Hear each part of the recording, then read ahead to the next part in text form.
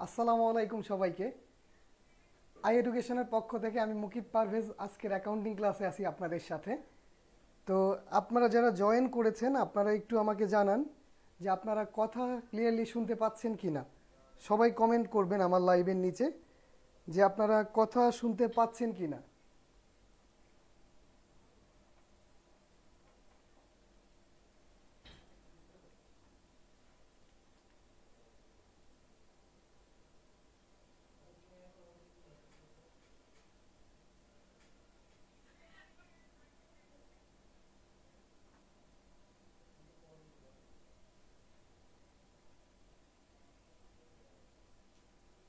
আপনারা কেউ লাইনে থাকলে একটু কমেন্ট করবেন যে কথা ক্লিয়ারলি শুনতে পাচ্ছেন কি না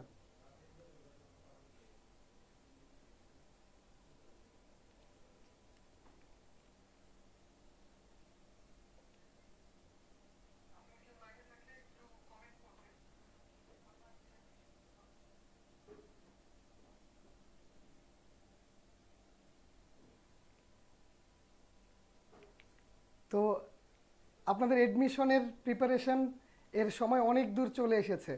তো এখন পর্যন্ত যারা অ্যাকাউন্টিং বা কমার্সের যেগুলো সাবজেক্ট আছে প্রপারলি প্রিপেয়ার্ড হতে পারেননি, তো আপনাদের জন্যই আমাদের এই ম্যারাথন উইক চলবে এবং সামনেও কিছু ক্লাস চলবে। তো আশা করি যে আপনারা আমাদের এই ক্লাসগুলোর সাথে থাকলে সবাই বেনিফিটেড হবেন। তো আজকে আমরা একটা চ্যাপ্টার শুরু করব, সমন্বয় জাবেদা। তো সমন্বয় জাবেদা থেকে প্রতি বছরই দুইটা বা তিনটা প্রশ্ন থেকেই থাকে। তো আজকের ক্লাস শেষ হলে ইনশাল্লাহ আপনাদের সমন্বয়ের যে দুইটা প্রশ্ন পরীক্ষা আসবে ইনশাল্লাহ আপনারা খুব সহজেই তিন থেকে চার সেকেন্ড অথবা পাঁচ সেকেন্ডের মধ্যেই সমন্বয়ের যত প্রশ্ন আছে, আপনারা ইনশাল্লাহ অ্যান্সার করতে পারবেন।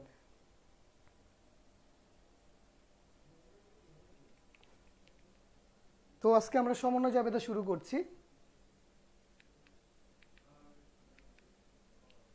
তো প্রথমে আমরা সমন্বয় জাবেদা কাকে বলে বা সমন্বয় দাখিলা কাকে বলে এটা দেখে নেই। তো দেখেন, প্রথমে আমরা এটাতে যাওয়ার আগে আপনারা যারা লাইনে অনলাইনে আছেন বা লাইভ ক্লাস করছেন, তারা সবাই খাতা কলম নিয়ে রেডি হয়ে যান। তারপরে আমি ক্লাসটা শুরু করি। আপনারা সবাই খাতা কলম নিয়ে রেডি হয়ে যান এবং যারা লাইভ করছেন, তারা সবাই নিচে লিখবেন যে আপনারা রেডি হয়ে গেছেন খাতা কলম নিয়ে।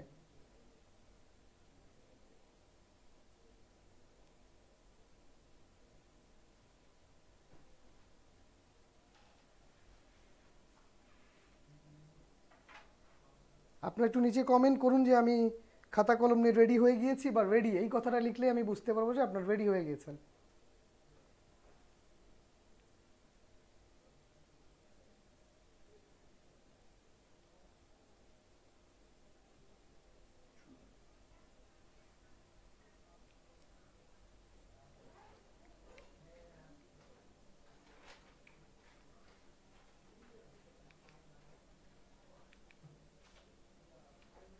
আমরা প্রথমে দেখব যে সমন্বয় দাখিলা বা সমন্বয় জাবেদা কাকে বলে। আপনারা একটু লিখবেন খাতায় যারা আমার সাথে আছেন। আপনারা লিখবেন যে হিসাবকালে আয় অর্জিত হয়। আয়কে ওই হিসাবকালে লিপিবদ্ধ করার জন্য আমি আবারও বলছি, যে হিসাবকালে আয় অর্জিত হয়, আয়কে সেই হিসাবকালেই লিপিবদ্ধ করার জন্য এবং যে হিসাবকালে ব্যয় সংগঠিত হয়, ব্যয়কে সেই হিসাবকালেই লিপিবদ্ধ করার জন্য হিসাবকালের শেষে যে সমন্বয় দাবে, যে সমন্বয় জাবেদা দেয়া হয় বা সমন্বয় দাখিলা দেয়া হয় তাকে সমন্বয় জাবেদা অথবা সমন্বয় দাখিলা বলে থাকে। আমি আবারও বলছি, যে হিসাবকালে আয় অর্জিত হয়, আয়কে সেই হিসাবকালেই লিপিবদ্ধ করার জন্য এবং ব্যয় যে হিসাবকালেই সংগঠিত হয়েছে, সেই হিসাবকালে ব্যয়কে লিপিবদ্ধ করার জন্য হিসাবকাল শেষে যে জাবেদা দাখিলা দেয়া হয়, সেটাই হচ্ছে সমন্বয় জাবেদা দাখিলা। তো আমরা এখানে দুইটা ওয়ার্ড পেয়েছি। একটা হচ্ছে আয় অর্জিত আয় অর্জিত, এবং আরেকটা ওয়ার্ড পেয়েছি যে ব্যয় সংগঠিত ব্যয় সংগঠিত আয় অর্জিত হয়েছে মানে হচ্ছে যে আপনি সেবা দিয়েছেন কিন্তু এখনও টাকা পাননি। আর ব্যয় সংগঠিত মানে হয়েছে যে সরি আমি আবার রিপিট করছি। আয় অর্জিত মানে হচ্ছে যে আপনি সেবা দিয়েছেন কিন্তু এখনও টাকা নেননি। আর ব্যয় সংগঠিত মানে হচ্ছে যে আপনি সেবা নিয়েছেন কিন্তু এখনও টাকাটা পরিশোধ করেননি। এটার ডিটেলসে আমরা আমরা সামনে দেখব। আমরা একটা সমন্বয় জাবেদার উদাহরণ দেখি যে দুই মাসের মেস ভাড়া অগ্রিম দেয়া হলো দশ হাজার টাকা। আমরা সমন্বয়ের সংজ্ঞা থেকে জানতে পেরেছি যে সমন্বয় জাবেদা হচ্ছে যে হিসাবকালে আয় অর্জিত হয়েছে, ওই হিসাবকালে আয়টাকে লিপিবদ্ধ করতে হবে এবং ব্যয় যে হিসাবকালে সংগঠিত হয়েছে, ওই হিসাবকালে ব্যয়কে লিপিবদ্ধ করতে হবে। তো এখানে আমাদের একটা জাবেদা দেওয়া আছে, দুই মাসের মেস ভাড়া অগ্রিম দেয়া হলো। তার মানে আমাদের এই সমন্বয়টা করতে হবে দুই মাসের জন্য। তাহলে আমরা প্রথম মাসের যদি সমন্বয় আমরা লিপিবদ্ধ করি, তাহলে আমরা জাবেদা করব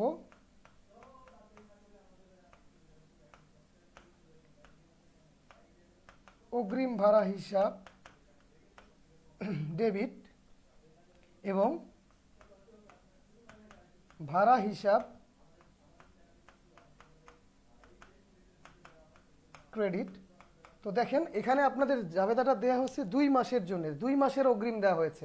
তো আমরা যদি এক মাসের এক মাসের আয় অর্জিত হিসাবে দেখাই, তাহলে আমরা কত টাকা পাবো? পাঁচ হাজার টাকা পাবো। আর অন্যদিকে ভাড়া হিসাবে আমরা ক্রেডিট করব পাঁচ হাজার টাকা।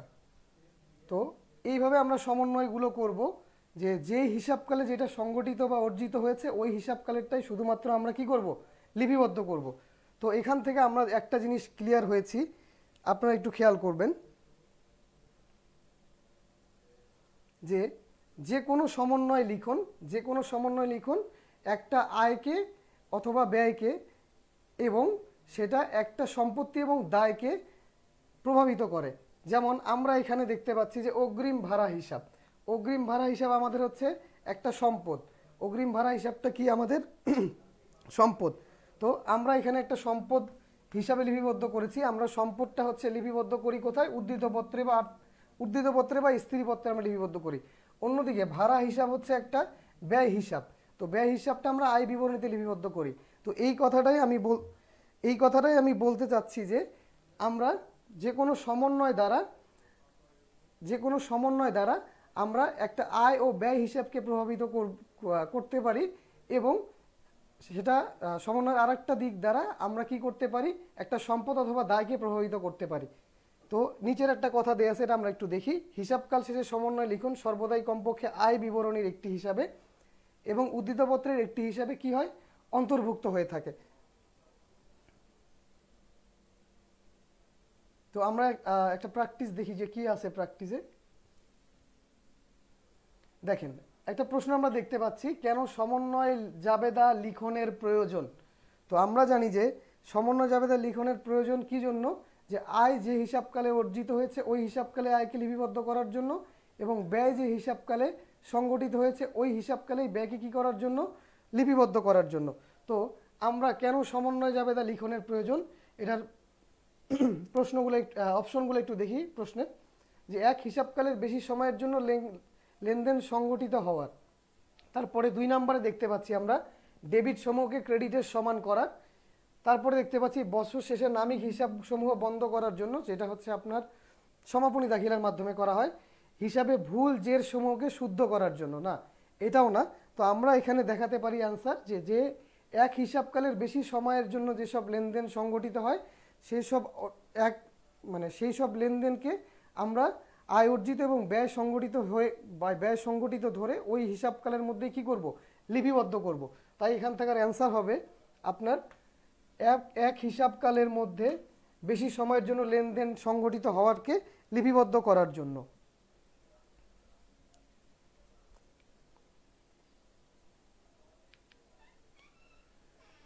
আচ্ছা আমরা আর একটা প্রশ্ন দেখি। এখানে দেওয়া আছে, হিসাবকাল শেষে সমন্বয় লিখন। আচ্ছা আমরা একটু আগেই বলেছি যে, হিসাবকাল শেষে সমন্বয় লিখন। সমন্বয় লিখনের এক পক্ষ আয় ও আয় অথবা ব্যয়কে এবং আর এক পক্ষ সম্পদ অথবা দায়কে প্রভাবিত করে। তো এখান থেকে আমরা বলতে পারি যে, সম্পদ এবং সম্পদ এবং দায় আমরা আর্থিক উদ্ধৃতপত্র বা স্থিতিপত্রে বসিয়ে থাকি। আর আমরা যে আয় বা ব্যয়টা এটা আমরা কোথায় বসিয়ে থাকি? এটা আমরা বসিয়ে থাকি হচ্ছে আয় বিবরণীতে। তো দেখি আমরা কি বলছে এখানে আমাদের অপশনগুলো। প্রশ্নটা আমরা একবার খেয়াল করি। হিসাবকাল শেষে সমন্বয় লিখন কি করে থাকে? তো হিসাবকাল শেষে সমন্বয় লিখন কি করে থাকে আমরা অপশনগুলো একটু দেখব। সর্বদাই উদ্ধৃতপত্রের কমপক্ষে দুটো হিসেবে অন্তর্ভুক্ত হয় না। তারপরে আমরা একটা দেখি যে সর্বদাই নগদান হিসেবে সমন্বয় করে। এটাও আমরা সঠিক অ্যান্সার হিসেবে নিতে পারছি না। সর্বদাই কমপক্ষে আয় বিবরণীর একটি হিসাবে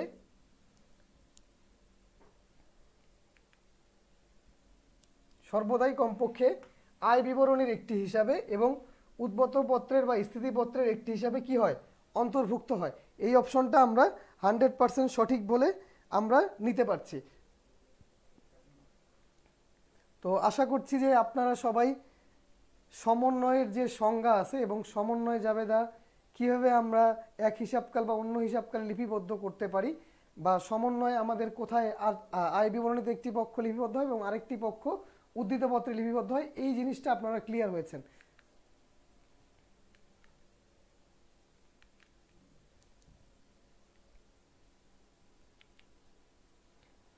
এখন আমরা একটা ম্যাজিক দেখব। এই ম্যাজিকের মাধ্যমে আপনারা সমন্বয়ের যে একটা জাবেদা আসে, এই সমন্বয়ের জাবেদাটার সম্পদ নাকি দায় হবে, এটা আপনারা দুই সেকেন্ডের মধ্যে অ্যান্সার করতে পারবেন। তো আমার সাথে এই সময় যারা লাইভে আছেন আপনারা একটু আমার দিকে খেয়াল করবেন মনোযোগ সহকারে এবং আমি এটা শেষ করার পরে আপনাদেরকে সময় দিব খাতায় লিখে নেওয়ার জন্য। তো তখন আপনারা এটা খাতায় লিখতে পারবেন। তো আমরা দেখি যে সমন্বয়। আমরা জানি যে সমন্বয় হচ্ছে দুই প্রকার। একটা হচ্ছে অগ্রিম আর একটা হচ্ছে বকেয়া।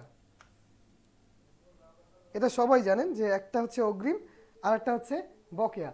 তো আপনারা জানেন যে অগ্রিম আয় হয়ে থাকে এবং বকেয়া ব্যয় হয়ে থাকে। এটা আপনারা জানেন।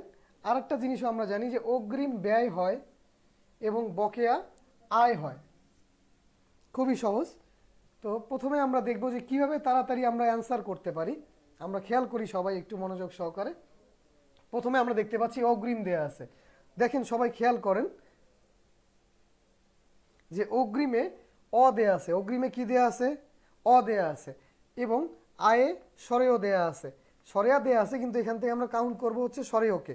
তো দেখেন, এখানে লেটার মিলে গেছে। অগ্রিমে আছে অ, অগ্রিমে আছে অ এবং আয়ে আছে অ। অন্যদিকে আমরা অন্যদিকে দেখি, এইদিকে আছে বকেয়াতে ব এবং ব্যয়ে আছে ব। তো দেখেন, এখানে লেটার মিলে গেছে। পরীক্ষায় যদি আপনাদের আসে যে অগ্রিম আয় কি হবে, তাহলে যদি লেটার মিলে যায়, তাহলে হবে হচ্ছে আপনার দায়। পরীক্ষায় যদি আসে যে অগ্রিম আয় কি, তাহলে অ্যান্সার হবে দায়, এবং পরীক্ষা যদি আসে বকেয়া ব্যয় কি অ্যান্সার হবে দায়। তো দেখেন, এখানে আমরা একটা ম্যাজিক দেখলাম, যেটা শর্টকাটে আমরা তাড়াতাড়ি অ্যান্সার করতে পারব। সেটা হচ্ছে পরীক্ষায় যদি আসে অগ্রিম আয় কী হবে অ্যান্সার হবে দায়। কারণ এখানে লেটার মিলেছে, অ মিলে গেছে। তারপরে দেখেন, বকেয়াতে আছে ব এবং ব্যয় আছে ব। তো এখানেও লেটার মিলে গেছে যে বকেয়া ব্যয় হচ্ছে দায় এবং অগ্রিম আয় কী হবে? দায় হবে। বকেয়া আয় কি হবে? দায় হবে এবং অগ্রিম আয় হবে দায়। আপনারা যারা আমার সাথে লাইভে আছেন, একটু কমেন্ট করে জানান যে বুঝতে পারছেন কি না আপনারা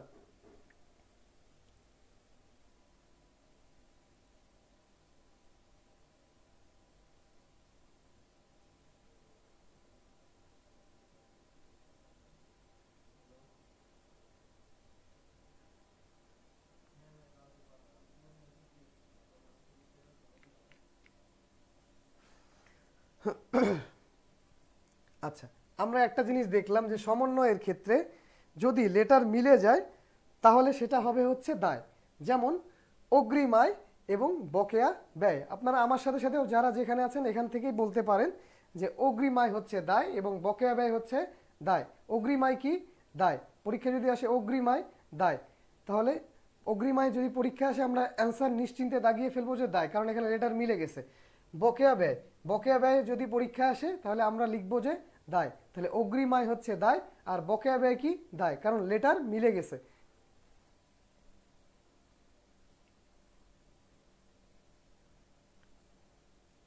আচ্ছা তারপরে দেখি।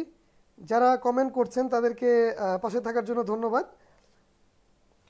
তারপরে আমরা আর একটা জিনিস আছে যে অগ্রিম ব্যয়।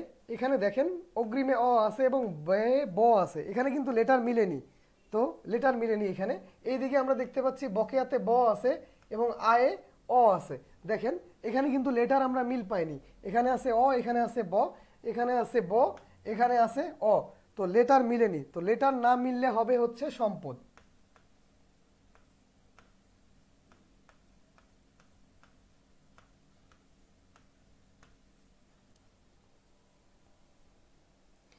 যদি লেটার না মিলে সমন্বয়ের ক্ষেত্রে তাহলে কি হবে? সম্পদ।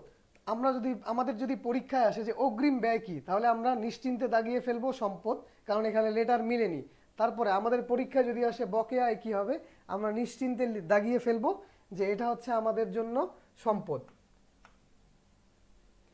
তো দেখেন, এখান থেকে আমরা যে ট্রিক্সটা শিখলাম, এটা একটু দেখি আমরা যে পরীক্ষায় যদি আমাদের লেটার মিলে সমন্বয়ের ক্ষেত্রে, তাহলে হবে হচ্ছে দায়। যদি লেটার না মিলে, তাহলে সেটা হবে সম্পদ। আপনারা যারা লাইভে আছেন আপনারা যদি খাতায় লিখে নিতে চান, আমি কিছু সময় আপনাদেরকে দিচ্ছি, আপনারা এটা লিখে নিতে পারেন। এবং যাদের লেখার দরকার নেই, তারা তিন, চারবার আমার সাথে সাথে বলতে পারেন যে, লেটার মিলে গেলে দায়, লেটার মিলে গেলে কি হবে? দায় হবে। লেটার মিলে গেলে কি হবে? দায় হবে। আর লেটার যদি না মিলে যায় বা অক্ষর যদি না মিলে, তাহলে হবে সম্পদ। লেটার যদি না মিলে, তাহলে কি হবে? সম্পদ হবে। আর লেটার যদি মিলে যায়, তাহলে কি হবে? লেটার যদি মিলে যায়, তাহলে কি হবে? আপনারা বলেন। আপনারা বলেন অথবা কমেন্ট করেন যে লেটার যদি না মিলে তাহলে কি হবে? কমেন্ট করে জানান আমাকে।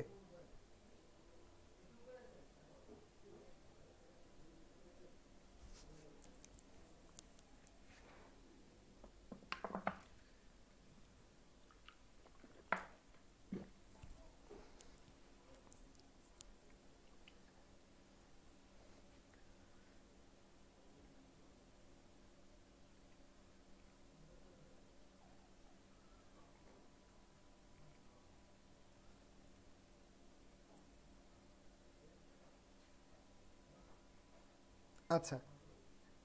আমি আশা করছি যে আপনারা এটা ক্লিয়ারলি বুঝতে পেরেছেন। আমি আরেকবার রিপিট করি, সমন্বয়ের ক্ষেত্রে আমরা প্রধান দুইটি সমন্বয় পেয়েছিলাম। একটা হচ্ছে আমাদের অগ্রিম আর একটা হচ্ছে বকেয়া। আর অগ্রিমের মধ্যে আমরা দুইটা পেয়েছিলাম, একটা অগ্রিম আয়, যেটাতে লেটার মিলেছিল, সেই জন্য হবে সেটা দায়। আর একটা হচ্ছে অগ্রিম ব্যয়, যেটাতে লেটার মিলেনি, সেটা হবে হচ্ছে আমাদের সম্পদ। অন্যদিকে আমরা বকেয়াতে পেয়েছিলাম, বকেয়া ব্যয়, এখানে লেটার মিলে গিয়েছিল ব ব, এই জন্য আমরা দিয়েছি দায়। এবং বকেয়া আয় এখানে লেটার মিলেনি, তাই আমরা দিয়েছিলাম সম্পদ। আপনারা সবাই আশা করি ক্লিয়ারলি এটা বুঝতে পেরেছেন। তো এই ট্রিক্সটা আপনাদের মনে রাখতে হবে, এটা আপনাদের খুব তাড়াতাড়ি অ্যান্সার করতে সাহায্য করবে।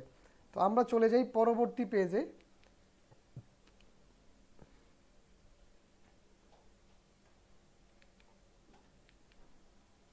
দেখেন, আমরা একটা প্রশ্ন এখন সলভ করব।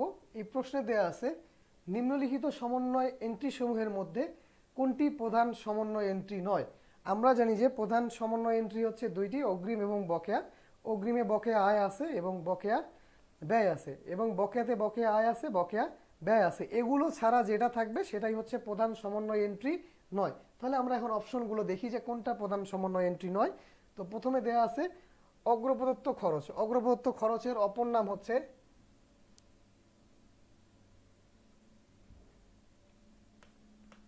অগ্রিম খরচ। অগ্রপ্রদত্ত খরচের অপর নাম কি? অগ্রিম খরচ। আচ্ছা তারপরে দেখেন, দেয়া আছে অর্জিত রাজস্ব মানে যেটা আপনি অর্জন করে ফেলেছেন।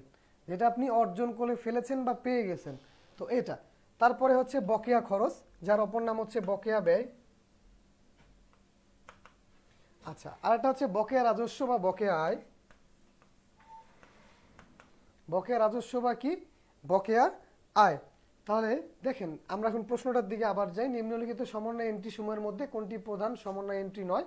তাহলে এখান থেকে আমরা বি নাম্বারকে সঠিক হিসাবে নিতে পারি, কারণ অর্জিত রাজস্ব যেটা অর্জন হয়ে গেছে বা আমরা পেয়ে গেছি, এটা হচ্ছে এখান থাকার কারেক্ট অ্যান্সার এই প্রশ্নের। আর বাকিগুলো হচ্ছে প্রধান সমন্বয়, যেমন অগ্রিম খরচ বা অগ্রবর্ত খরচ, বকেয়া ব্যয় বা বকেয়া খরচ, আর বকেয়া রাজস্ব বা বকেয়া আয়। তাহলে দেখেন, এখানে আপনারা একটা জিনিস মনে করেন, বকেয়া ব্যয় এর অপর নাম হচ্ছে বকেয়া খরচ। তো এইখানেও কিন্তু লেটার মিলে গেছে। বকেয়া ব্যয়ের অপর নাম কি? বকেয়া খরচ। তো এটা আমাদের কি হবে? এটা আমাদের দায় হবে। এটা আমাদের কি হবে? দায় হবে। তারপরে দেখেন অগ্রিম খরচ। এখানে কিন্তু অগ্রিম খরচ বা অগ্রিম ব্যয়ও আমরা বলতে পারি বা অগ্রপ্রদত্ত ব্যয়ও বলতে পারি। তাহলে এটা আমাদের জন্য কি হবে? এখানে কি লেটার মিলেছে? অগ্রিম ব্যয় লেটার মিলেনি। তাহলে এটা আমাদের জন্য কি হবে? সম্পদ হবে।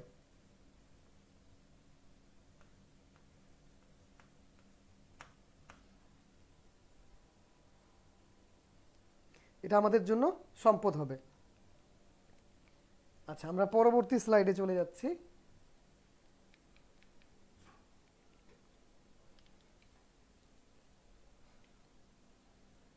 এখন আমরা একটা জিনিস দেখব যে কোনটা হচ্ছে অগ্রিম আয় আর কোনটা অগ্রিম ব্যয়, এটার আমরা সংজ্ঞাটা একটু দেখব।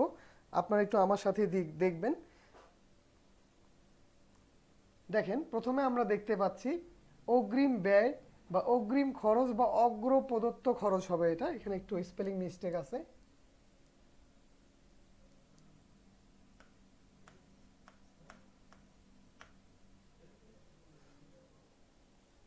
তো আমরা দেখি, অগ্রিম ব্যয়ের অপর নাম হচ্ছে অগ্রিম খরচ বা অগ্র প্রদত্ত খরচ। এখানে কি লেটার মিলেছে? আপনারা সবাই বলেন লেটার মিলেছে? না লেটার মিলেনি। তাহলে অগ্রিম ব্যয় বা অগ্রিম খরচ বা অগ্র অগ্র প্রদত্ত খরচ, আমাদের কি হবে? কি হবে বলেন সবাই? সবাই বলেন যে অগ্রিম প্রদত্ত খরচ আমাদের কি হবে? সম্পদ হবে। অগ্রিম প্রদত্ত খরচ আমাদের কি হবে? সম্পদ হবে। আমরা একটু দেখি যে অগ্রিম প্রদত্ত ব্যয়ের নিচে কি লেখা আছে? ব্যয় সংগঠিত হওয়ার আগেই অর্থ প্রদান। ব্যয় সংগঠিত হওয়ার আগেই কি? অর্থ প্রদান। তো এটা আমরা একটু পরে ডিটেলস আলোচনা করব। আমরা আরেকটা জিনিস দেখি আগে। অনুপার্জিত আয়, যার অপর নাম হচ্ছে অগ্রিম আয়। আপনারা সচরাচর এই নামেই জানেন যে অগ্রিম আয়। কিন্তু আপনাদের পরীক্ষায় আসবে অনুপার্জিত আয় নামে। তো মনে রাখবেন আজকে থেকে অনুপার্জিত আয়ের অপর নাম হচ্ছে অগ্রিম আয়, যার অপর নাম হচ্ছে অনার্জিত আয়। মনে থাকবে আপনাদের? তাহলে আমার সাথে সাথে আপনারা সবাই বলেন যে অগ্রিম আয়ের অপর নাম হচ্ছে অনুপার্জিত আয়। অগ্রিম আয়ের অপর নাম কি? অনুপার্জিত আয়। অগ্রিম আয়ের অপর নাম কি? অনুপার্জিত আয়। অগ্রিম আয়ের অপর নাম কি হবে? অনুপার্জিত আয় বা অনার্জিত আয়। আচ্ছা তাহলে দেখেন, এখানে আপনাদের লেটার মিলে গেছে নাকি মিলে নেই, আমরা একটু দেখি। যে অনুপার্জিততে অ আছে এবং আয়ে কি আছে? অ আছে। অগ্রিম আয়ে অ আছে এবং আয়ে কি আছে? অ আছে। অনার্জিত আয় অ আছে এবং এখানে কি আছে? অ আছে। তাহলে দেখেন, অনুপার্জিত আয়, অগ্রিম আয় বা অনার্জিত আয়, এটা আমরা কি লিখব? এটা হচ্ছে আমাদের জন্য কি? দায়। দেখেন, কীভাবে আমাদের অনুপার্জিত আয় বা অগ্রিম আয় দায় হলো? এবং অগ্রিম ব্যয় বা অগ্রিম খরচ সম্পদ হলো, এটা একটু আমরা খেয়াল করি। আপনারা মনে করেন যে আপনারা সবাই মোটামুটি বিশ্ববিদ্যালয়ে ভর্তি, কোচিংয়ে ভর্তি হয়েছিলেন এই বছর। আমি একটা এক্সাম্পল দিই, এই নিয়ে আপনাদেরকে। দেখেন, আপনারা জানুয়ারি মাসের জানুয়ারি মাসের এক তারিখে আপনাদের যে কোনো প্রিয় কোচিং সেন্টারে ভর্তি হয়েছিলেন, সাপোজ বিশ হাজার টাকা দিয়ে।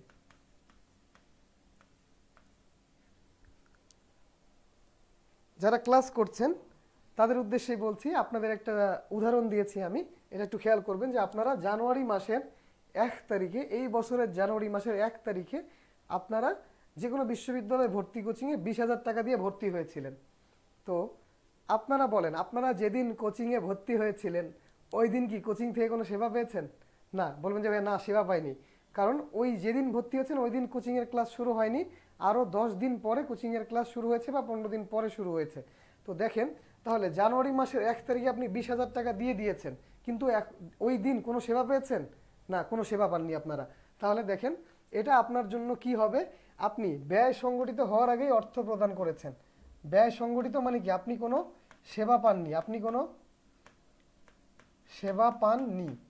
তার মানে সেবা পাননি মানে কি আপনার ব্যয় সংগঠিত হওয়ার আগেই আপনি অর্থ প্রদান করছেন। আপনি যদি সেবা পেতেন তাহলে আপনি, আপনার এটা কি হতো না?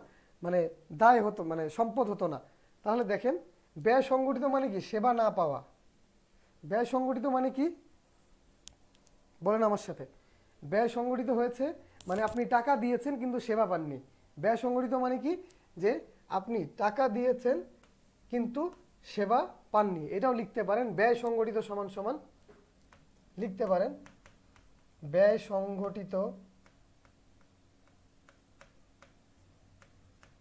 যারা লিখতে চান, লিখে নিতে পারেন, ব্যয় সংগঠিত মানে হচ্ছে যে টাকা দিয়েছেন, কিন্তু সেবা পাননি। ব্যয় সংগঠিত মানে হচ্ছে টাকা দিয়েছেন, কিন্তু সেবা পাননি। তাহলে দেখেন অগ্রিম ব্যয় বা অগ্রিম খরচ বা অগ্রপ্রত্য খরচ কোনটা? আপনি জানুয়ারি মাসের এক তারিখে কোচিংয়ে বিশ হাজার টাকা দিয়েছেন, কিন্তু ওই দিন কোনো সেবা পাননি। দ্যাট মিন্স আপনি সেবা পাওয়ার আগেই টাকাটা দিয়ে দিয়েছেন, তাই এটা হচ্ছে আপনার অগ্রিম খরচ বা অগ্রিম ব্যয় বা অগ্রপ্রদত্ত খরচ, যেটা হচ্ছে আপনার জন্য সম্পদ।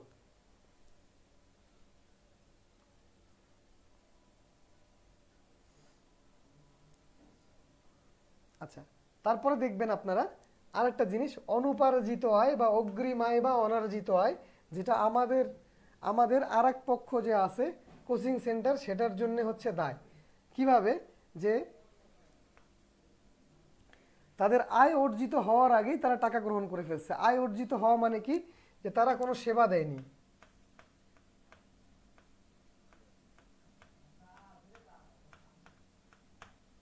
সেবা দেয়নি। সেবা দেয়নি। সেবা না দিয়ে, না দেওয়ার আগেই তারা কি করেছে? টাকা গ্রহণ করে নিয়েছে। সেবা দেওয়ার, না দেওয়ার আগেই তারা কি করেছে? টাকা গ্রহণ করছে। তাহলে এটা তাদের জন্য হবে অনুপার্জিত আয় বা অগ্রিম আয়। অগ্রিম আয়। এটা তাদের জন্য কি হবে? অগ্রিম আয়। কারণ তারা টাকা অ্যাডভান্স নিয়েছে, কিন্তু কোনো সেবা দেয়নি।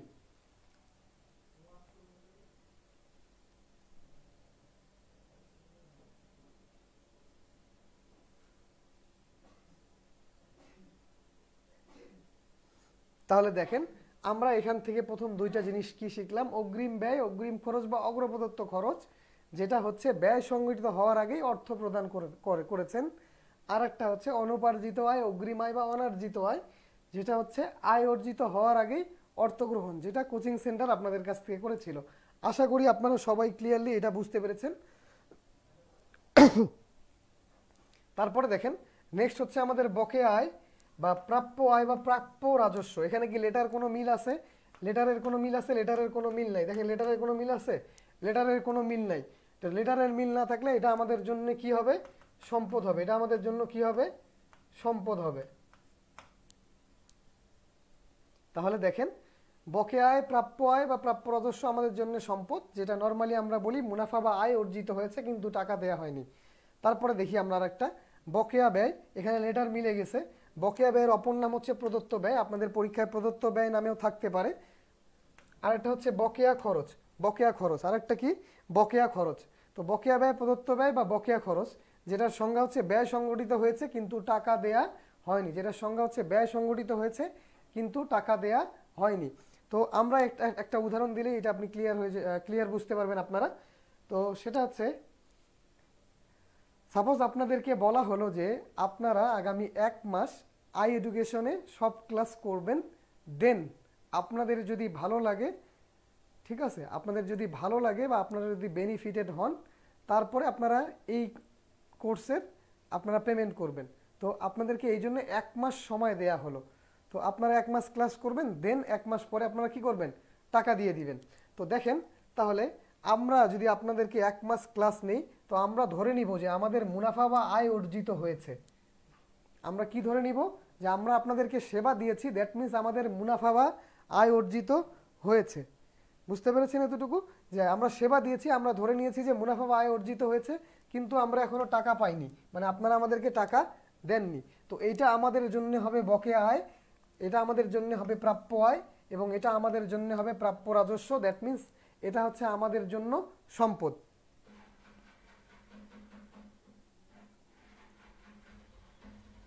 আচ্ছা তারপরে আমরা দেখি বকেয়া ব্যয়, প্রদত্ত ব্যয় বা বকেয়া খরচ। এইটা কি? যে আপনারা আমাদের কাছ থেকে এক মাস সেবা নিয়েছেন দ্যাট মিন্স আপনাদের ব্যয় সংগঠিত হয়েছে। আপনাদের কি হয়েছে?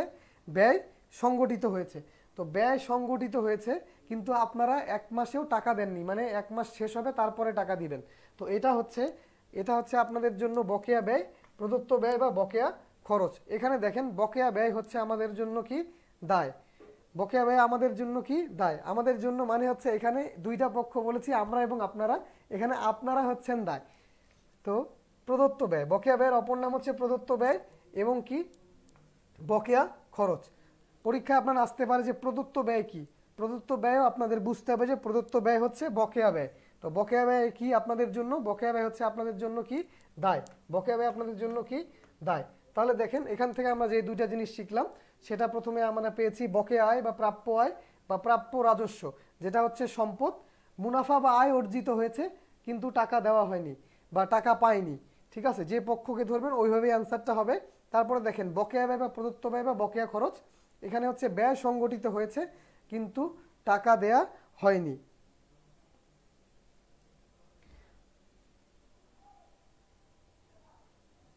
আশা করছি যে আপনারা ক্লিয়ারলি বুঝতে পেরেছেন এতটুকু। আমরা এখন একটু প্র্যাকটিসে চলে যাব, দেখব যে প্র্যাকটিসে প্র্যাকটিসে আমরা পারি কি না এইসব প্রশ্নের উত্তর। দেখেন, একটা প্রশ্ন আমরা দেখতে পাচ্ছি, আয় অর্জিত হয়েছে কিন্তু নগদে গ্রহণ করা না হলে তাকে আমরা কি বলব? আপনারা সবাই কমেন্ট করে এই প্রশ্নের উত্তর জানান আমাকে, যে উত্তর কি হবে? আয় অর্জিত হয়েছে কিন্তু নগদে গ্রহণ করা না হলে তাকে আমরা কি বলব? সবাই কমেন্ট করে জানার নিচে যে এটার অ্যান্সার কোন অপশনটা হবে?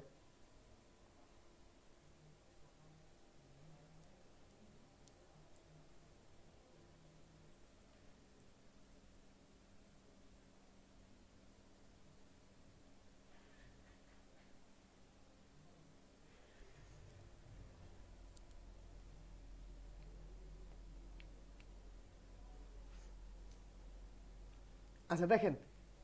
আয় অর্জিত হয়েছে কিন্তু নগদে গ্রহণ করা না হলে, তাকে আমরা বলব হচ্ছে বকেয়া আয়। তাকে আমরা বলব বকেয়া আয়। তাকে আমরা কি বলব? বকেয়া আয় বা প্রাপ্য আয় বা প্রাপ্য রাজস্ব। বকেয়া আয়, প্রাপ্য আয় বা প্রাপ্য রাজস্ব। তাহলে যারা অপশন নাম্বার সি দিয়েছেন, সবার উত্তরই ঠিক আছে। সবাইকে অনেক ধন্যবাদ পাশে থাকার জন্য এবং আশা করি সামনে আরও আমরা এমন কিছু শিখব যেটা আপনাদের পরীক্ষায় জাদুর মতন কাজ করবে। পরীক্ষার আপনারা প্রশ্নের অপশন দেখেই আপনারা অ্যান্সার করতে পারবেন যে কোন অপশনটাই কারেক্ট ঠিক আছে? তো আমরা নেক্সটে চলে যাই। ব্যয় সংগঠিত হয়েছে কিন্তু হিসাবে লিপিবদ্ধ করা হয়নি। ব্যয় সংগঠিত হয়েছে কিন্তু হিসাবে লিপিবদ্ধ করা হয়নি। এটার অপশনের অ্যান্সার মানে এই প্রশ্নের উত্তর কি হবে, এটা আপনারা লিখে আমাকে জানান কমেন্টের মধ্যে যে কোন অপশনটা কারেক্ট হবে।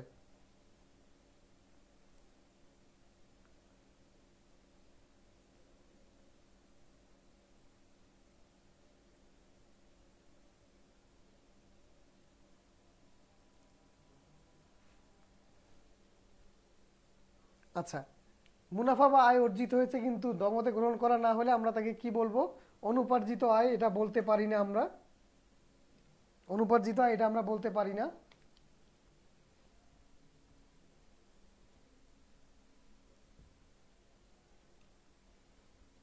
এটা আমরা বলতে পারি না, তারপরে এটা অগ্রিম আয়, এটাও আমরা বলতে পারি না। মধ্যবর্তী আয়, এটাও আমরা বলতে পারি না। তারপরে দেখেন, মুনাফা অর্জিত হয়েছে কিন্তু গ্রহণ করা না হলে তাকে আমরা সেটা কি বলতে পারি? সেটা আমরা বলতে পারি বকেয়া আয়। সেবায়ও সেটা আমরা বলতে পারি না। তাহলে এই প্রশ্নের উত্তর কি হবে? বকেয়া আয় হবে। কি হবে উত্তর এটার? বকেয়া আয় হবে অ্যান্সার।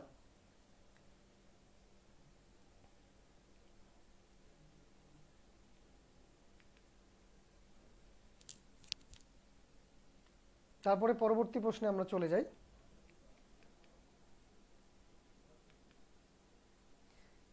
দেখেন, এবার আমরা একটা ম্যাজিক শিখব। এই ম্যাজিকের মাধ্যমে আপনারা খুব দ্রুত যে কোনো সমন্বয়ের অ্যান্সার করতে পারবেন। তো ট্রিক্সটার জন্য আমরা সবাই রেডি হয়ে নেই এবং যারা এখন পর্যন্ত খাতা কলম নেননি, এই ট্রিক্সটা অবশ্যই লেখার জন্য আপনারা খাতা কলম নিয়ে রেডি হয়ে যান।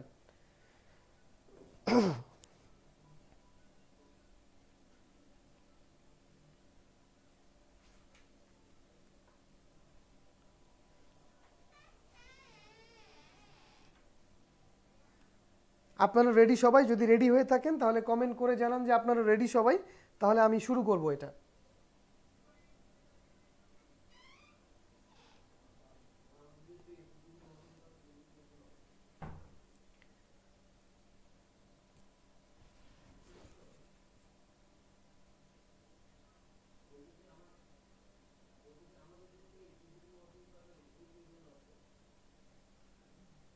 আচ্ছা আপনারা রেডি হয়ে গিয়েছেন, তাহলে এখন আপনারা একটু খেয়াল করবেন। খুবই সহজ জিনিস, এর চেয়ে সহজ জিনিস পৃথিবীতে কোনো কিছুই হয় না। সো আপনারা একটু মনোযোগ দিলেই সমন্বয়ের যে দুইটা প্রশ্ন এমসিকিউতে থাকবে, দুইয়ে দুই পেয়ে যাবেন ইনশাল্লাহ একটু খেয়াল করেন।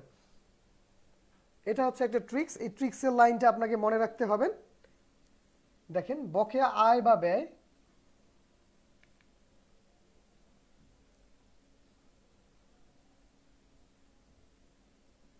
দেখেন, বকেয়া আয় বা ব্যয় যদি সমন্বয় করা হয়, তাহলে হবে বেশি বেশি।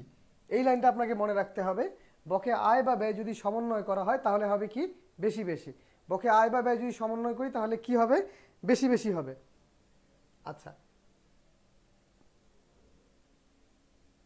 আপনারা এটা খাতায় লিখে নিতে পারেন। বকে আয় বা ব্যয় সমন্বয় করলে কি হবে? বেশি বেশি হবে। বকে আয় বা ব্যয় সমন্বয় করলে কি হবে? বেশি বেশি হবে। এখন আপনারা বলতে পারেন যে, ভাইয়া, কি বেশি বেশি হবে? কি বেশি বেশি হবে এই প্রশ্নটা মনে আসতেই পারে। তো একটা জিনিস আপনারা দেখেন যে, পরীক্ষায় যদি আসে, বকেয়া ব্যয়ের সমন্বয় করা হলে হিসাব সমীকরণে কি প্রভাব? খুবই মনোযোগ খুবই মনোযোগ সহকারে শুনেন, কারণ একটা সমন্বয় যদি আপনারা বুঝতে পারেন এই রকম হাজারো সমন্বয়ের প্রশ্নের উত্তর আপনারা খুবই দ্রুত করতে পারবেন। দুই থেকে তিন সেকেন্ড বা পাঁচ সেকেন্ডের মধ্যে আপনারা সঠিক অ্যান্সারটা আপনারা খুঁজে বের করতে পারবেন যদি এই লাইন আপনারা মুখস্থ রাখতে পারেন। তো খেয়াল করেন, আমরা একটু আগে ট্রিক্স দেখেছি যে বকেয়া আয় বা ব্যয় যদি আমরা সমন্বয় করি, তাহলে সেটা কি হয়? বেশি বেশি হয়। এখন আপনাদের পরীক্ষা এসেছে যে বকেয়া ব্যয়ের সমন্বয় করা হলে, বকেয়া ব্যয়ের সমন্বয় করা হলে হিসাব সমীকরণে কি প্রভাব পড়বে? তো আমরা জানি যে যে বকেয়া ব্যয় যদি আমরা সমন, বকেয়া ব্যয় যদি আমরা সমন্বয় করি বা বকেয়া আয় যদি আমরা সমন্বয় করি, তাহলে আমাদের সূত্রে বেশি বেশি হয়। তাহলে দেখেন আপনারা একটা জিনিস অনেক আগে থেকেই জানেন, আমি আবারও রিপিট করি, যে বকেয়া ব্যয়ের যদি সমন্বয় করেন বা যেই জিনিসটা সমন্বয় করেন, ওই জিনিসটা কি পায়? বৃদ্ধি পায়। যে জিনিসটা আপনারা সমন্বয় করেন, ওটা হিসাবে ঢোকা মাত্র, হিসাবটা কি পায়? বৃদ্ধি পায় বা টাকার অ্যামাউন্টটা বেড়ে যায়, তাই তো? তো আর যে জিনিসটা সমন্বয় না করা হয়, ওই হিসাবটা কি যায়? কমে যায়। খুবই সহজ জিনিস। তো প্রথমে আপনারা দেখেন যে বকেয়া ব্যয়ের সমন্বয় করলে হিসাব সমীকরণে কি প্রভাব? এই রকম প্রশ্ন আসলে আপনারা প্রথমেই এই লাইনটা আপনাদেরকে মনে করতে হবে যে বকে আয় বা ব্যয় যদি আমরা সমন্বয় করি, তাহলে হবে কি? বেশি বেশি। তাহলে প্রথমে দেখেন, আমরা বকেয়া ব্যয়ের সমন্বয় করব। তাহলে প্রথমে ব্যয়কে আমরা সমন্বয় করলে ব্যয় কি হবে? বেশি হবে। ব্যয় কি হবে? বেশি হবে। তাহলে প্রথম বেশির আমাদের কাজ শেষ। আমরা যেই জিনিসটা সমন্বয় করি, এটা কি হয়? বেশি হয়। যে জিনিসটা সমন্বয় করি, এটা কি হয়? বেশি হয়। আচ্ছা আমরা ব্যয়ের সমন্বয় করেছি, তাই ব্যয় বেশি পেয়েছি, আমাদের সূত্রের প্রথম বেশির কাজ শেষ। তারপরে দেখি, বকেয়া ব্যয় আমাদের জন্য কি? বকেয়া ব্যয় দেখেন, লেটার মিলে গেছে। ব ব, লেটার মিলে গেছে। তাহলে লেটার মিলে গেলে কি হয়? দায় হয়। আমরা জানি লেটার মিলে গেলে কি হয়? দায় হয়। তাহলে তাহলে দেখেন, বকেয়া ব্যয় আমাদের জন্য কি বলেন তো সবাই? দায়। বকেয়া ব্যয় আমাদের জন্য কি? দায়। তাহলে দায় কি হবে? আমরা সূত্রে জানি এক বেশির কাজ শেষ, আর এক বেশি বাকি আছে। তাহলে কি হবে? দায় বেশি হবে। তাহলে দায় কি হবে? বেশি হবে। এতটুকু আপনারা বুঝতে পেরেছেন যে যদি পরীক্ষায় আসে, বকে আয় বা ব্যয় সমন্বয় করলে কি হবে বা বকেয়া আয় সমন্বয় করলে হিসাব সমীকরণে কি প্রভাব বা বকেয়া আয়ের সমন্বয় হলে কি হতে পারে?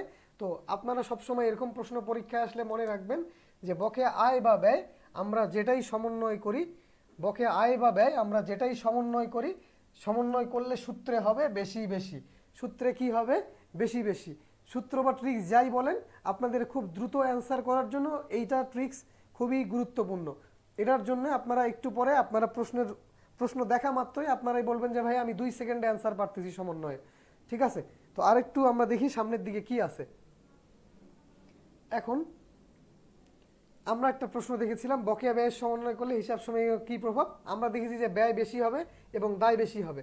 তাহলে দেখেন, কোন অপশনে ব্যয় বেশি, দায় বেশি আছে, এই অপশনে আপনাদের এগুলা প্রশ্ন পরীক্ষা আসলে অপশনও দেখতে হবে না। পরীক্ষায় দেখবেন যে বকেয়া ব্যয়ের সমন্বয়। মনে করবেন বকেয়া ব্যয়ের সমন্বয় মানে হচ্ছে বেশি বেশি। বেশি মানে কি? ব্যয় বেশি আর বকেয়া ব্যয় হচ্ছে দায় দায় বেশি। ব্যয় বেশি, দায় বেশি যে অপশনে থাকবে, এই অপশনই দাগিয়ে দিবেন। চার সেকেন্ড লাগবে টোটালি আপনার দাগানো সহ। আচ্ছা আমরা নেক্সট প্রশ্নে চলে যাই। দেখেন, পরীক্ষায় আবার আসছে যে বকেয়া আয়ের সমন্বয় করা হলে হিসাব সমীকরণে কি প্রভাব পড়বে? পরীক্ষায় আসছে বকেয়া আয়ের সমন্বয় করলে হিসাব সমীকরণে কি কি প্রভাব পড়বে? তাহলে আমরা জানি একটা ট্রিক্স সেটা হচ্ছে বকে আয় বা ব্যয়, যেটাই আমরা সমন্বয় করি না কেন, আমাদের কি হবে? সবাই বলেন, আমাদের কি হবে? বেশি বেশি হবে। আমাদের কি হবে? বেশি বেশি হবে। বকে আয় বা ব্যয় সমন্বয় করলে আমাদের কি হবে? বেশি বেশি হবে। বেশি বেশি হবে। তো আমরা যেহেতু আমরা যেহেতু এখন কি করছি? বকেয়া আয়ের সমন্বয় করছি। সেটার ক্ষেত্রেও আমাদের কি হবে? বেশি বেশি হবে। আমরা যেহেতু এখন কি করব? আয়ের সমন্বয় করব। তাই আয় কি হবে? আয় কি হবে? আয় বেশি হবে। এক বেশির কাজ আমাদের শেষ। আর বকেয়া আয় আমাদের জন্য কি? এখানে কি লেটার মিলছে? না লেটার মিলেনি। বকেয়া আমাদের জন্য কি? বকেয়া আমাদের জন্য কি? বলেন সবাই, বকেয়া আমাদের জন্য কি? বকেয়া আমাদের জন্য হচ্ছে সম্পদ। বকেয়া আমাদের জন্য কি? সম্পদ। যেহেতু লেটার মেলেনি, সেহেতু কি হবে? বকেয়া আমাদের জন্য হচ্ছে সম্পদ। তাহলে সম্পদ কি হবে? সূত্রে যেহেতু বেশি আছে, কি হবে? বেশি হবে। তাহলে দেখেন, পরীক্ষা যদি আসে বকে আয়ের সমন্বয় করলে হিসাব সমীকরণে কি প্রভাব? তাহলে অ্যান্সার হবে, আয় বেশি, যেহেতু আমরা বকে আয়টা সমন্বয় করছি, আয় বেশি হবে। আর আমাদের একটা ছক দেখেছিলাম আমরা, দুই সেকেন্ডে উত্তর বলার সেইখানে আমরা দেখেছি বকে আয়ে লেটার মিলেনি। তাহলে লেটার না মিললে আমরা জানি লেটার না মিললে হবে সম্পদ, তাই কি হবে? সম্পদ হবে বেশি।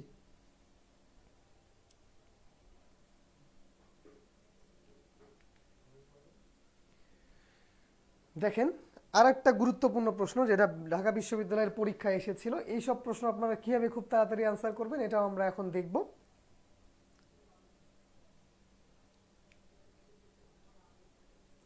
দেখেন, পরীক্ষা এসেছে আর্থিক বছরের শেষে বকেয়া বেতনের সমন্বয় এন্ট্রি অসতর্কতার কারণে বাদ পড়ে যায়। আমরা জানি যে বকেয়া আয় বা ব্যয় যদি আমরা সমন্বয় করি, তাহলে কি হবে? বেশি বেশি হবে। আর একটা জিনিস আমরা একটু দেখবি, ব্যাকে চলে যাচ্ছি আমরা একটু, যে বকে আয় বা ব্যয় সমন্বয় করলে হবে আমাদের বেশি বেশি। বকে আয় বা ব্যয় সমন্বয় করলে আমাদের কি হবে?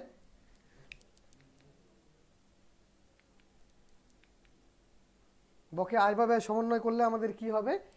বেশি বেশি হবে। তাহলে বকে আয় বা ব্যয় যদি আমরা সমন্বয় না করি, তাহলে হবে কি বলেন তো সবাই? কম কম হবে। কি হবে? কম কম হবে। যদি সমন্বয় করলে বেশি বেশি হয়, তাহলে সমন্বয় না করলে কি হবে? কম কম হবে। সমন্বয় না করলে কি হবে? কম কম হবে। আচ্ছা এই দুই লাইন যারা খাতায় লিখে নেননি, তারা একটু কষ্ট করে তাড়াতাড়ি খাতায় লিখে নেবেন। বকে আয় বা ব্যয় সমন্বয় করলে বেশি বেশি। বকে আয় বা ব্যয় সমন্বয় না করলে হবে কম কম।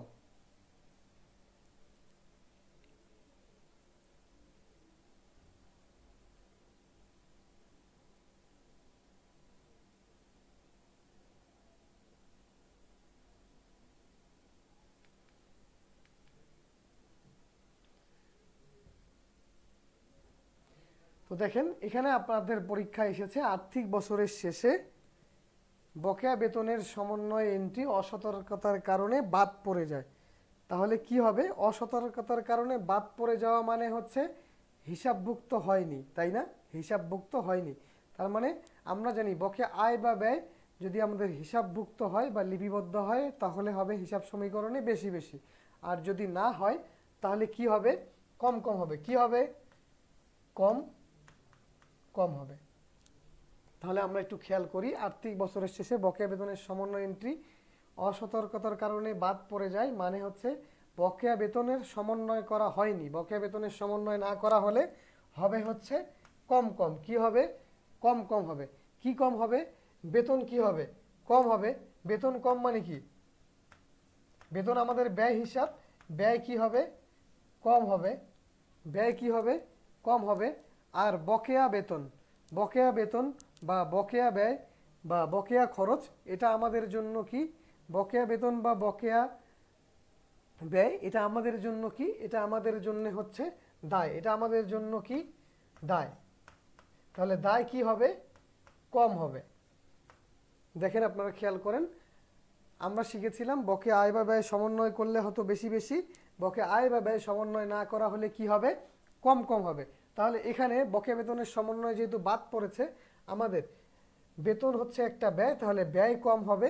আর বকেয়া বেতন মানে ব ব মিলে গেছে বা বকেয়া ব্যয়, সেটা হচ্ছে আমাদের জন্য দায়। সেটা আমাদের সূত্রে যেহেতু কম আছে পরের সূত্রে, তাই এখানে হবে কম। তাহলে দেখেন, আমাদের একটা জিনিস জানতে হবে যে ব্যয় কম মানে আপনার কি? যদি ব্যয় কম হয়, তখন মুনাফা কি হয়? বেশি হয়। যদি ব্যয় কম হয়, মুনাফা কি হয়? বেশি হয়। আর মুনাফা যখন বেশি হয়, তখন কি হয়? আপনার আয়করটা বেশি দিতে হয়। যখন আপনার লাভ বেশি হয়, তখন আপনার কি? আয় আয়করও বেশি দিতে হবে। তাহলে এই অপশন প্রশ্নের উত্তরগুলো আমরা দেখি কি কি আছে। বছরের শেষে খরচ কম দেখানো হবে। এই অপশনটা কারেক্ট তারপরে দেখি, বছরের নিট আয় বেশি দেখানো হবে। আপনার ব্যয় যখন কম হবে, আপনার আয় কি? আয় কি হবে? আয় আপনার বেশি দেখাতে হবে। আপনার আয় কি হবে? বেশি দেখাতে হবে। আচ্ছা তারপরে দেখেন, বছরের শেষে দায় কম দেখানো হবে। আমরা জানি যে দায় কম দেখানো আমরা বের করেছি অলরেডি দায় কম হবে। আর একটা জিনিস, বছরের কর বেশি দেখাতে হবে। আপনার যদি ব্যয় কম হয়, তখন আয় হবে বেশি। ব্যয় কম হলে আয় কি হবে? ব্যয় কম হলে আয় কি হবে বলেন সবাই? বেশি হবে। ব্যয় কম হলে আয় কি হবে? বেশি হবে। ব্যয় কম হওয়া মানে কি হওয়া? আয় বেশি হওয়া। আর আয় বেশি হওয়া মানে কি? আয়কর আপনাকে বেশি দিতে হবে। তাহলে আয় বেশি হলে আপনার বছরে আয়কর কি দিতে হবে? বেশি দিতে হবে। অতএব আমরা পেয়েছি এ বি সি ডি চারটা অপশনই কারেক্ট তাহলে অ্যান্সার হবে উপরিউক্ত সবগুলোই সঠিক।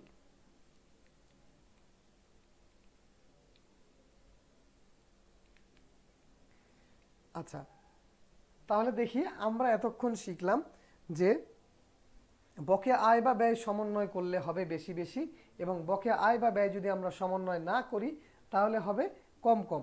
তো বকেয়া আয় অথবা ব্যয় যেটা পরীক্ষায় আসবে এটা দেখেই আপনাদের মাথায় নিয়ে আসতে হবে যে আমি ট্রিক শিখেছিলাম, বকে আয় বা ব্যয় সমন্বয় করলে হবে বেশি বেশি। এই বেশি বেশি যদি মনে রাখতে পারেন আপনারা, তাহলে ইনশাল্লাহ আপনারা পাঁচ সেকেন্ডের মধ্যে এই সমন্বয়ের অ্যান্সারটা করতে পারবেন। আচ্ছা আমরা একটু আগে দেখেছি বকে আয় বা ব্যয়। এখন আমরা দেখব অগ্রিম আয় বা ব্যয়ের সমন্বয়। বকে আয় বা ব্যয় আমরা একটু আগে করেছি, এখন আমরা কি করব? অগ্রিম আয় বা ব্যয়টা দেখব। তাহলে দেখেন, আমাদের সূত্রে হচ্ছে অগ্রিম আয় বা ব্যয় যদি আমরা সমন্বয় করি অগ্রিম আয় বা ব্যয় যদি আমরা সমন্বয় করি, অগ্রিম আয় বা ব্যয় যদি আমরা সমন্বয় করি, তাহলে হবে হচ্ছে বেশি কম। কি হবে? বেশি কম। বকেয়ার সময় ছিল ব ব ব, আর এখন হবে হচ্ছে আপনার বেশি কম। আচ্ছা দেখেন, অগ্রিম আয় বা আয় অথবা ব্যয় যে কোনোটা যদি সমন্বয় করা হয়, তাহলে হবে বেশি কম। আর অগ্রিম আয় বা ব্যয় যদি আমরা সমন্বয় না করি, তাহলে সমন্বয় করলে যেটা হবে, তার বিপরীতটা হবে। তার কি হবে? বিপরীতটা হবে। তাহলে কি হবে? কম বেশি হবে। তাহলে কি হবে? কম বেশি হবে। আপনারা যারা লিখে নিতে চান, তারা লিখে নিতে পারেন এই লাইনটা অবশ্যই। অগ্রিম আয় বা ব্যয়ের সমন্বয় করলে হবে হচ্ছে বেশি কম এবং অগ্রিম আয় বা ব্যয়ের সমন্বয় না করলে হবে কম বেশি।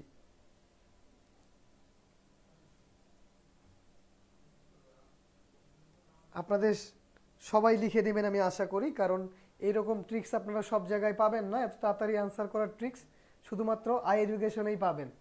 এবং এই রকম ট্রিক্স আরও সামনে জানার জন্য আমাদের সাথে আপনারা ইনশাল্লাহ থাকবেন সবাই, এবং বেশি বেশি কমেন্ট করে আমাকে জানাবেন যে আপনারা শুনতে পাচ্ছেন কিনা এবং বুঝতে পারছেন কিনা।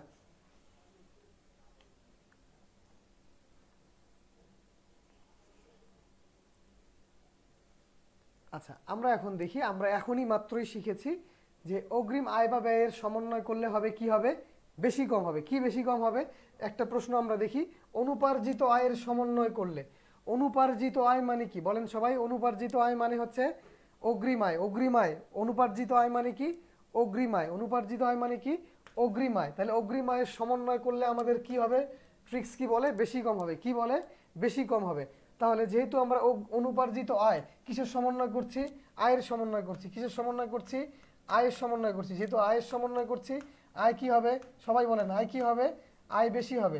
যেহেতু আয়ের সমন্বয় করছি, আয় কি হবে? বেশি হবে। আর অনুপার্জিত আয় অনুপার্জিত আয় দেখেন, এখানে অ আছে, এখানে অ আছে। অ মিলে গেলে কি হয়? দায় হয়। অ মিলে গেলে কি হয়? দায় হয়। বব মিলে গেলে কি হয়? দায় হয়। তাহলে দেখেন, অনুপার্জিত আয় অনুপার্জিত আয়। অনুপার্জিত আয় আমাদের জন্য কি বলেন সবাই? দায়। অনুপার্জিত আয় আমাদের জন্য কি? দায়। তাহলে দায় কি হবে? আমাদের ট্রিক্সের দেয়া আছে কম হবে। দায় কি হবে? কম হবে। দায় কি হবে? কম হবে। তাহলে দেখেন কত সহজে আমরা অ্যান্সার বের করতে পারছি। পরীক্ষা যদি আসে অনুপার্জিত আয়ের সমন্বয় করলে, আপনারা প্রথমেই মাথায় নিয়ে আসতে হবে যে অনুপার্জিত আয়ের সমন্বয় করলে, অনুপার্জিত আয়ের সমন্বয় করলে বা অগ্রিম আয় বা ব্যয়ের সমন্বয় করলে, অগ্রিম আয় বা ব্যয়ের সমন্বয় করলে ট্রিক্স হচ্ছে বেশি কম। ট্রিক্স কি? বেশি কম। তাহলে আমরা যেহেতু আয়ের সমন্বয় করছি, আয় হবে বেশি, আর অনুপার্জিত আয় আমাদের জন্য হচ্ছে কি দায়। আমরা একটা ছক দেখেছিলাম প্রথমে, যে অনুপার্জিত আয় আমাদের জন্য কি দায়। অনুপার্জিত আয় আমাদের জন্য কি দায়। ঠিক আছে? তাহলে দায় কি হবে? কম হবে। তাহলে দেখেন, এই অপশনে কোনটা কারেক্ট এখানে হচ্ছে আপনার ডি নাম্বার হবে কারেক্ট অ্যান্সার তারপরে আমরা নেক্সট চলে যাই। অনুপার্জিত আয় হিসাবভুক্ত হয়নি। তাহলে দেখেন, অনুপার্জিত আয় হিসাবভুক্ত হয়নি। অনুপার্জিত আয় হিসাবভুক্ত হয়নি মানে আপনার কি? আমরা জানি যে অগ্রিম আয় বা ব্যয়ের সমন্বয় করলে হবে বেশি কম। তাই অনুপার্জিত আয় এর সমন্বয় না করলে তাহলে কি হবে? তার বিপরীতটা হবে। বিপরীতে কি ছিল আমাদের? কম বেশি ছিল। কি ছিল? কম বেশি ছিল। তাহলে খেয়াল করেন সবাই অনুপার্জিত আয় হিসাবভুক্ত হয়নি। তাহলে অগ্রিম আয় বা অগ্রিম ব্যয়ের সমন্বয় না করলে আমরা জানি কি হয়? কম বেশি হয়। কীভাবে কম বেশি হয়? আমরা আগের পেজে একটু দেখে নেই। অগ্রিম আয় বা ব্যয়ের সমন্বয় করলে আমরা দিয়েছিলাম বেশি কম। অগ্রিম আয় বা ব্যয়ের সমন্বয় না করলে তাহলে অবশ্যই তার বিপরীতটা হবে। এখানে হবে আপনার কম বেশি।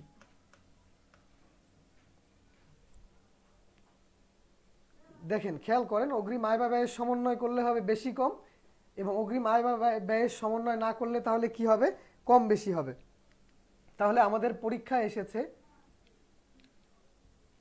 অনুপার্জিত আয় হিসাবভুক্ত হয়নি। তাহলে আমরা জানি অনুপার্জিত আয়ের অপর নাম হচ্ছে অগ্রিম আয়। অনুপার্জিত আয়ের অপর নাম কি? অগ্রিম আয়। তাহলে অগ্রিম আয় যদি হিসাবভুক্ত না হয়, তাহলে কি হবে? কম বেশি হবে। কি হবে? কম বেশি হবে। তাহলে আমাদের আয় কি হবে? যেটা হিসাবভুক্ত হয়নি, তাহলে আয় কি হবে? কম হবে। আয় কি হবে? কম হবে। আর অনুপার্জিত আয় লেটার মিলে গেছে। লেটার মিলে গেলে আমরা কি জানি? দায় হয়। লেটার মিলে গেলে কি হয়? দায় হয়। তাহলে কি হবে? দায় বেশি হবে।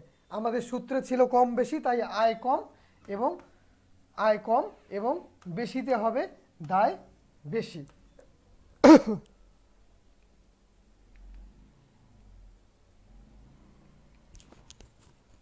আপনারা যারা বলছেন সাউন্ড কম আসছে, এখন একটু বলবেন যে সাউন্ড ঠিক আছে কিনা?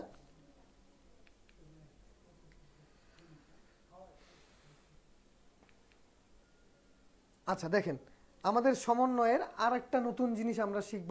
সেটা হচ্ছে একসাথে আমি করে দিয়েছি, আপনাদের একই রকমের যেগুলো সমন্বয় আছে, একটু খেয়াল করেন এবং যাদের সামনে খাতা আছে, অবশ্যই লিখে নেবেন। সেটা হচ্ছে অবচয়, অবলোপন, কুরিন সঞ্চিতি মণিহারি সাপ্লাইজ এখানে একটা জ হবে। সাপ্লাইজ বা সম্ভারের সমন্বয় করা হলে কি হিসাব সমীকরণে কি প্রভাব পড়বে? এটা অসংখ্যবার পরীক্ষা এসেছিল যে অবচয়ের সমন্বয় করা হলে হিসাব সমীকরণে কি প্রভাব? মণিহারির সমন্বয় করা হলে হিসাব সমীকরণে কি প্রভাব? তো দেখেন, যদি আসে পরীক্ষায় অবচয়ের সমন্বয় করা হলো, অ্যান্সার কি হবে? ব্যয় বৃদ্ধি, সম্পত্তি হ্রাস। দেখেন অবচয়ের যখন আপনারা সমন্বয় করেন, মনে করেন যে যন্ত্রপাতি নামে একটা সম্পদ ছিল যার জের ছিল এক লক্ষ টাকা।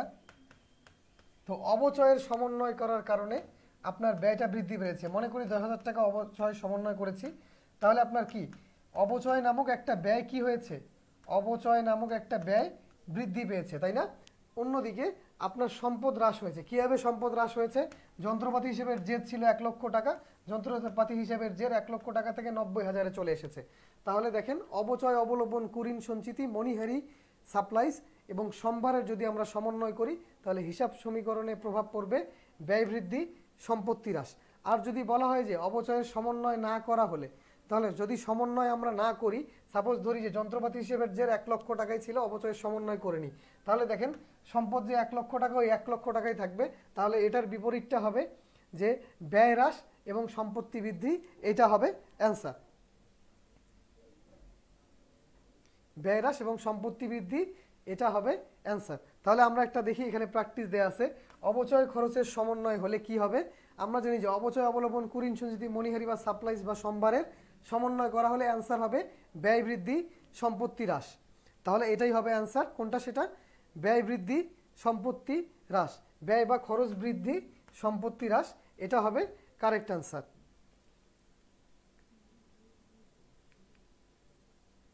তারপরে দেখেন, পরীক্ষা যদি আসে অবচয়ের জন্য, পরীক্ষা যদি আসে অবচয়ের জন্য সমন্বয় না করা হলে নিচের কোনটি সত্য হবে? অবচয় যদি আপনারা সমন্বয় না করেন, তাহলে কি হবে আপনার? ব্যয় কি হবে? কম দেখাবে। কারণ আমরা জানি যে অবচয় সমন্বয় করলে হয়, ব্যয় বৃদ্ধি, সম্পত্তি হ্রাস। যদি সমন্বয় না করি, অবচয় যদি সমন্বয়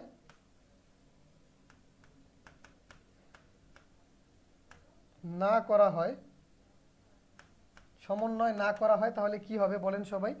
অবচয় যদি সমন্বয় না করা হয়, তাহলে কি হবে? সম্পত্তি বৃদ্ধি, ব্যয় কম।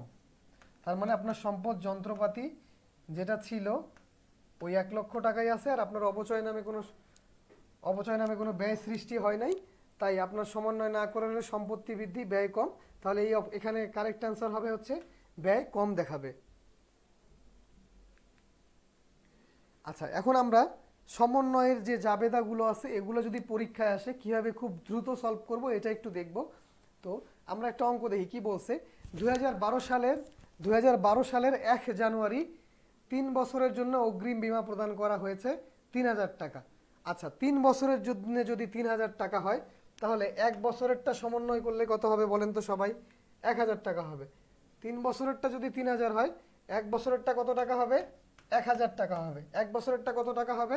এক হাজার টাকা হবে। তাহলে দু হাজার বারো সালের একত্রিশে ডিসেম্বর তারিখে সমন্বয় কি হবে? আমরা অগ্রিম বিমা দিয়েছি তিন বছরের জন্য। তাহলে এক বছরের জন্য কত টাকা? এক হাজার টাকা। আর বিমাটা শুরুই হয়েছে দুই হাজার বারো সালে এবং দুই সালেরটাই সমন্বয় করতে বলা হয়েছে। তাই না? তাহলে দুই সালেরটাই যদি আমরা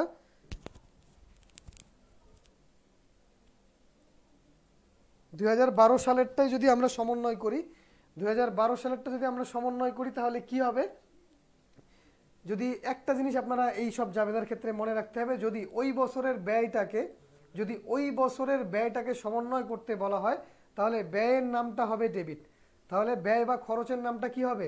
ডেবিট হবে এবং ওই বছরের যতটুকু খরচ, অতটুকুই শুধুমাত্র আসবে। সাউন্ডটা একটু কম আসতেছে হ্যাঁ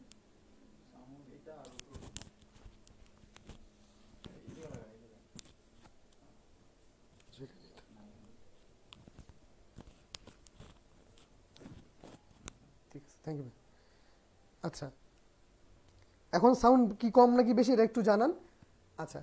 যদি আপনাদের এই রকম অঙ্ক থাকে, তাহলে আপনারা শুধুমাত্র ওই বছরেরটা যদি সমন্বয় করতে বলা হয়, তাহলে ব্যয়ের নামটা হবে ডেবিট একটা কথা মনে রাখবেন এই রকম জাবেদার ক্ষেত্রে যদি ওই বছরেরটা সমন্বয় করতে বলা হয় বা ওই হিসাবকালেরটা সমন্বয় করতে বলা হয়, তাহলে ব্যয়ের নামটা কি হবে?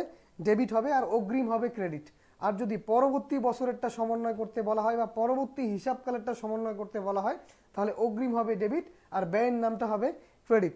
এই লাইনটা মনে রাখলে আপনারা এগুলো অ্যান্সার করতে পারবেন। তাহলে দেখেন, এখানে বলা হয়েছে দুই বারো সালের একত্রিশে ডিসেম্বর তারিখে সমন্বয় দেখিলে কি হবে? আমরা বিমাটা দিয়েছিলাম তিন বছরের জন্য। কয় বছরের জন্য? তিন বছরের জন্য। তাহলে এক বছরেরটা সমন্বয় করলে আমাদের সমন্বয় করতে হবে কত হাজার? এক হাজার টাকা। কত টাকা?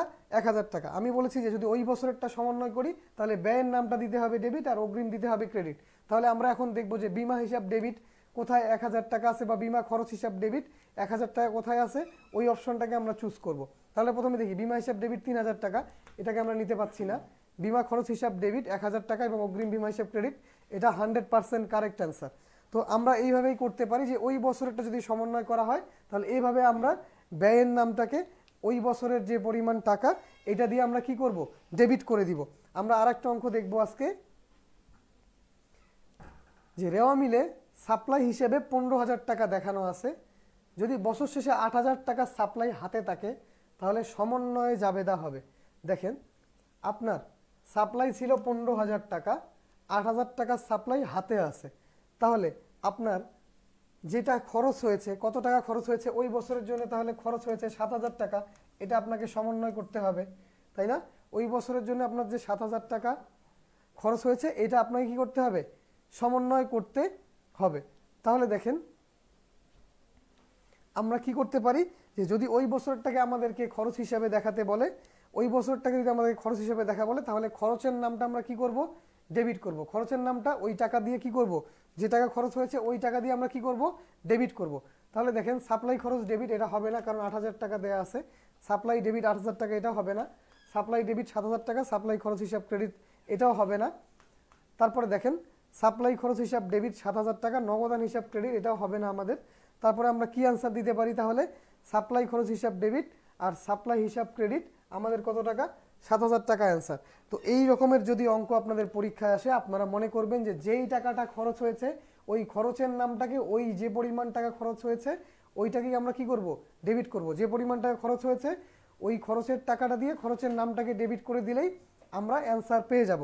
দেখেন, আমরা এখন পর্যন্ত যা শিখেছি, এটা আমি একটু বলে দিচ্ছি আপনাদেরকে শর্টকাটে আজকে যা পড়েছি, এটা আপনাদেরকে একটু বলে দিচ্ছি। প্রথমে আমরা সমন্বয়ের সংজ্ঞা দেখেছিলাম এবং আমরা জানি যে সমন্বয় যখন আমরা করি, আয় ও ব্যয়, এর দুইটার মধ্যে একটা জিনিস লিপিবদ্ধ হয়, একটা হিসেবে লিপিবদ্ধ হবে আয় অথবা ব্যয় আর একটা লিপিবদ্ধ হবে কোথায়?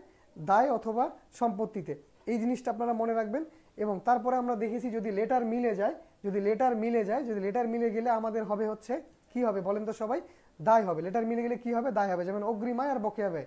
লেটার মিলে গেলে কি হবে? দায় হবে। আর লেটার না মিললে আমরা কি ধরবো? সেটাকে সম্পদ ধরবো। এটা আমরা শিখেছিলাম ছকের মাধ্যমে। এবং তারপরে আমরা শিখেছিলাম যে ও বকে আয় বা ব্যয়ের সমন্বয় যখন আমরা করব, তখন হবে কি হবে? বেশি বেশি হবে। বকে আয় বা ব্যয়ের সমন্বয় আমরা যখন করব, তখন কি হবে? বেশি বেশি হবে। আর বকে আয় বা ব্যয়ের সমন্বয় না করলে আমাদের কি হবে? কম কম হবে। আচ্ছা তারপরে আমরা একটা জিনিস দেখেছিলাম, অগ্রিম আয় বা ব্যয়ের আমরা সমন্বয় করলে কি হবে? বেশি কম হবে। কি হবে? বেশি কম হবে। আর যদি অগ্রিম আয় বা ব্যয়ের সমন্বয় না করি, তাহলে হবে কম বেশি। এটা ছিল আমাদের ট্রিক্স এই ট্রিক্সটা আপনারা মনে রাখবেন। এবং তারপরে আমরা দেখেছিলাম অবচয়, অবলোপন, কুরিন সঞ্চিতি মনিহারি সাপ্লাইস। এর যদি আমরা, এবং সম্ভার, এর যদি সমন্বয় করি, তাহলে হিসাব সমীকরণে প্রভাব পড়বে ব্যয় বৃদ্ধি, সম্পত্তি হ্রাস। কী হবে?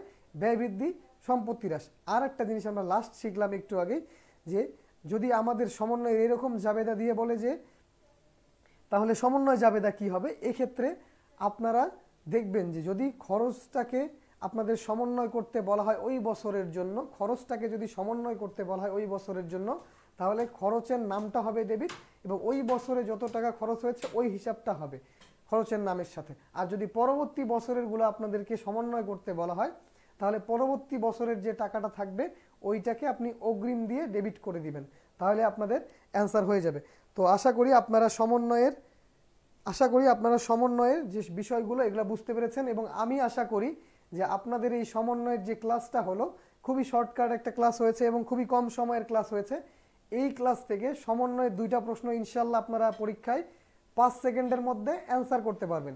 সবাই পাঁচ সেকেন্ডের মধ্যে অ্যান্সার করতে পারবেন এবং আপনাদের লেকচার শিট হোক বা বই হোক, যত ধরনের সমন্বয়ে জাবেদা এবং সমন্বয় সংক্রান্ত বিষয় আছে, যত, যতগুলো আছে, এর মধ্যে আপনারা নাইনটি এইট থেকে নাইনটি নাইন পারসেন্ট প্রবলেম আপনারা নিজেরাই সলভ করতে পারবেন এই ছোট্ট একটা ক্লাসের মাধ্যমে। তো, আমি আশা করছি যে আপনারা সবাই বুঝতে পেরেছেন এবং আপনারা যদি, আপনাদের মনে যদি কোনো কনফিউশন থাকে যে আপনারা বুঝতে পেরেছেন কি না তাহলে আপনারা আপনাদের সামনে যে বই বা লেকচার শিট আছে, এইটা আপনারা খুলবেন এবং যা আজকের পড়ানো হলো, আপনারা মিলিয়ে দেখবেন যে আপনারা নাইনটি এইট থেকে নাইনটি নাইন পার্সেন্ট প্রশ্নের অ্যান্সার সমন্বয়ের আপনারা করে দেখতে পাচ্ছেন কিনা নিজেরাই। সবাইকে ক্লাসে থাকার জন্য ধন্যবাদ। এবং এইরকম আরও অনেক শর্টকাট এবং আরও কীভাবে আপনারা দ্রুত অ্যান্সার করতে পারবেন এবং কীভাবে আরও সঠিকভাবে অ্যান্সার করতে পারবেন, এই বিষয়গুলো নিয়ে অ্যাকাউন্টিং ক্লাসে পরবর্তী অ্যাকাউন্টিংয়ের পরবর্তী ক্লাসে ইনশাল্লাহ আমি পারভেজ, আমার সাথে আপনাদের দেখা হবে। সবাই আই এডুকেশনের সাথে থাকবেন। সবাইকে অনেক ধন্যবাদ।